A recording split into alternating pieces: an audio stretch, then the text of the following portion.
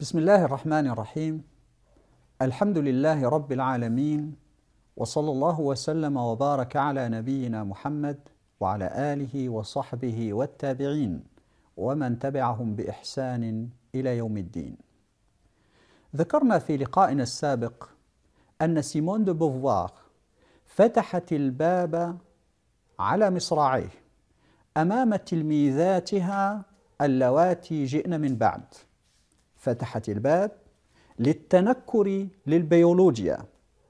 فلا يوجد فرق بيولوجي بين الرجل والمرأة وإنما هو فرق ثقافي وفرق في التربية.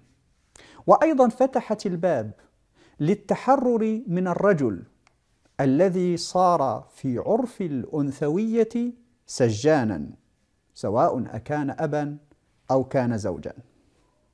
بعد مرحلة سيمون دو بوفوار جاءت مرحلة أخرى في غاية الأهمية وهي نضالات حركة 68 ففي هذه السنة وجدت حركات نضالية اجتماعية وطلابية ضخمة جدا.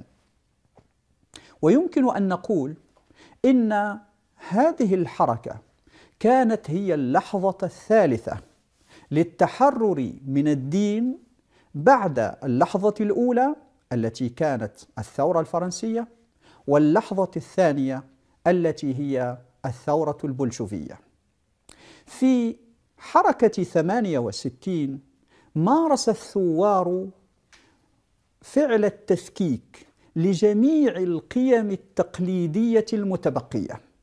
بطبيعة الحال القيم الدينية على رأسها. ولكن أيضا جميع القيم المرتبطة بالسلطة. والذي فعله الثوار فعله بعدهم فلاسفة التفكيك المنبثقون عن ثورة 68 يعني أمثال فوكو ودريدا ودولوز الذين يجمعون فيما يسمى المدرسة الفرنسية فرنش ثيوري تفكيك السلطة معناه أنه ينبغي أن تسود قيمة المساواة المطلقة بين الجميع. فلا تبقى أدنى سلطة لرجل الدين على أتباعه ولا للأب على أسرته ولا للأستاذ على تلامذته ولا للزوج على زوجته وأسرته ولا للبرجوازي على البروليتاري بل تفكيك تام لمعنى السلطة. سيأتينا أثر هذا بإذن الله عز وجل على الأسرة وعلى المجتمع. وجدت بعد ذلك في فرنسا خصوصا حركة تسمى حركة تحرير النساء MLF Mouvement de Libération de la Femme. لم يعد الهدف في هذه الحركة كما كان الأمر عند سيمون دو بوفوار أي تقليد الرجل. إنما صار الهدف هو الابتعاد عن الرجل.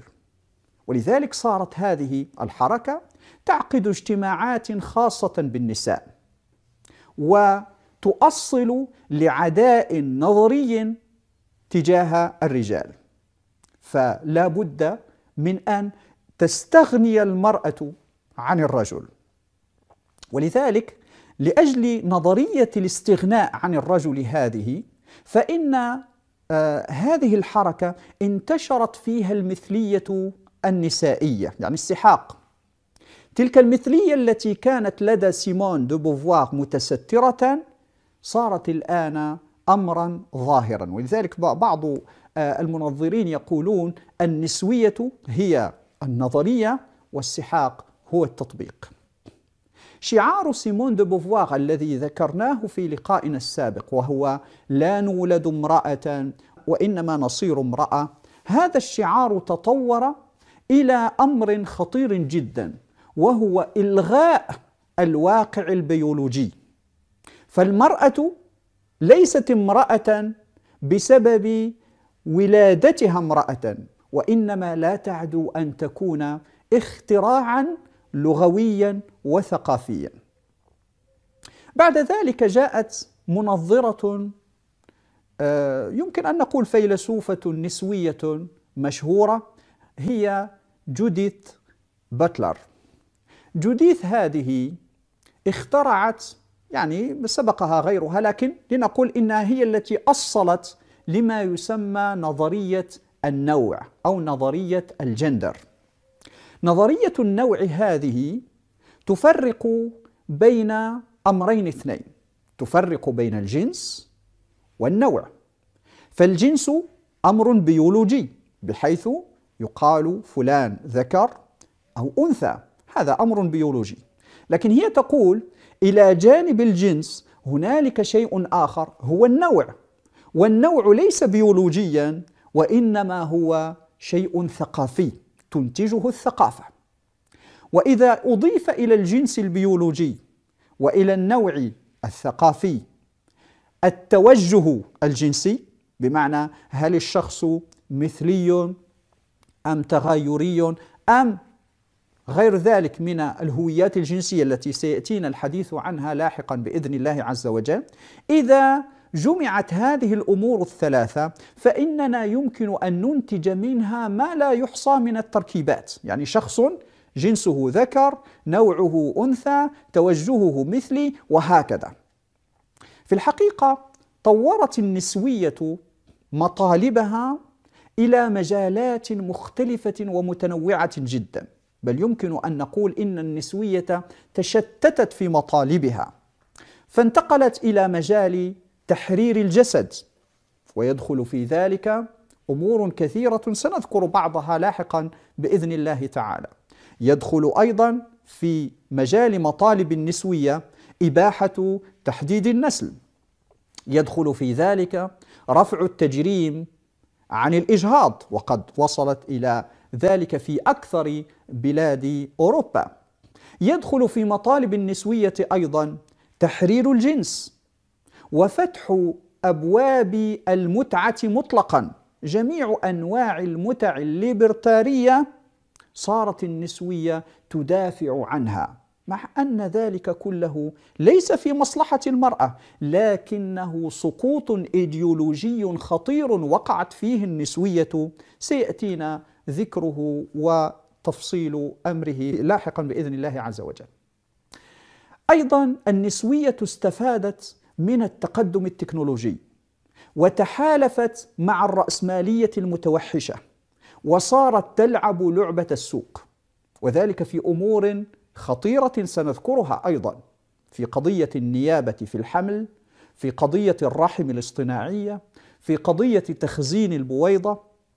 كل ذلك عدته النسوية نصرا للمرأة لا لشيء إلا لأن ذلك يحرر المرأة من الأمومة ويجعلها رجلا كالرجال. انطلاقا من إيديولوجيا الجندر النوع وضعت النسوية يدها في يد الأقليات الجنسية الهويات الجنسية الغامضة التي سيأتينا أيضا بيانها فيما بعد إن شاء الله تعالى. ثم أيضا ساحت النسوية إلى إعادة تشكيل الوعي في مجالات مختلفة في الفن في التعليم في الإعلام في الأدب بل نصبت ما يشبه محاكم تفتيش للمخالفين. فكل من تشم منه رائحة ما يسمى الجنسوية لو أي التمييز بين الجنسين يمكن أن ينبز بأنه فاشي بأنه ذكوري بأنه ضد حقوق المرأة. وسيأتينا بإذن الله تعالى شرح بعض ذلك تفصيلا. نحن نرى من خلال هذه المقدمة أن النسوية غاصت في خليط إيديولوجي خطير جدا ولنا أن نتساءل أين حقوق المرأة التي قامت النسوية في الأصل للدفاع عنها؟ هذا السؤال يحتاج منا إلى جواب لكن قبل ذلك سوف نرى في لقاءاتنا المقبلة بإذن الله عز وجل بعض المخاطر الإيديولوجية التي وقعت فيها النسوية.